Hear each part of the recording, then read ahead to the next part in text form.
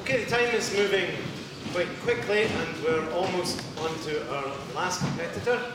Yeah, I'm just trying to see if he's at the door.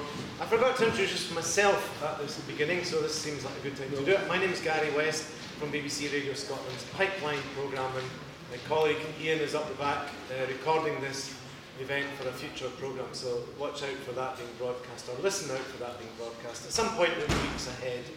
Not ex exactly sure when yet, but after the Worlds is, is over and so on. Fred Morrison is here. Um, he has donated these fantastic reel pipes.